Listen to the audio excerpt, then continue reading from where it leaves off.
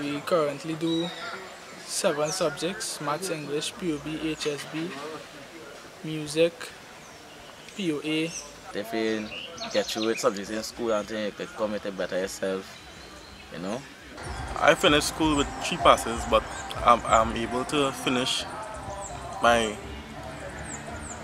subjects to get my full certificate and be able to get into the job of my choice, which is the, the police service. It have a stigma.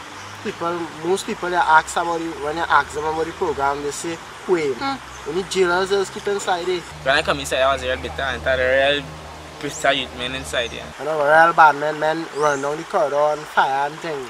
Men come in, they give instructors real talks, real gangster man talks. And instructor had to deal with them men and them. Oh, boy, the soldiers and them come like your daddy, like your big daddy. Soldiers and them come like your big daddy, your big brothers. Because they just come out and play football with you, play cricket with you, carry all about the place, carry any more all about, carry and show you the right way so that you will know right from wrong. Some parents does even be shocked to see the children after the first three months, they only send them home for like the first six weeks. People, parents are shocked, they score and ask what they do to the children because you see a difference, you see a difference in him.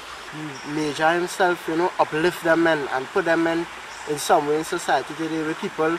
Now we was looking down at them. Now the major looking up to them and praising them because of the great success they bring. Some of those guys and them, some working on all big companies. It had some of them even move on and went in the Trinidad and Tobago Defense Force, the Trinidad and Tobago Air Guard, Coast Guard.